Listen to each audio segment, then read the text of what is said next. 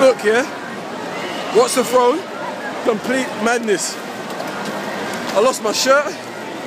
I messed up my sh my trek crepes. Clothes are ruined, man. His clothes are wet. This is a shirt. We did a mosh pit. We shared a mosh pit with Beyonce and Kim Kardashian. Oh my days. Beyonce, are you hearing me? Beyonce and Kim Kardashian. Absolutely nuts. And we've lost Dele and his brother. We'll find them. Complete nuts. If you haven't been to Watch the Throne, if you didn't go to Birmingham, do you know what I mean? Oh, it's too If you didn't go to Birmingham, I'm sorry. I know I know you talked about London. I know you talked about O2. I know you talked about Paris.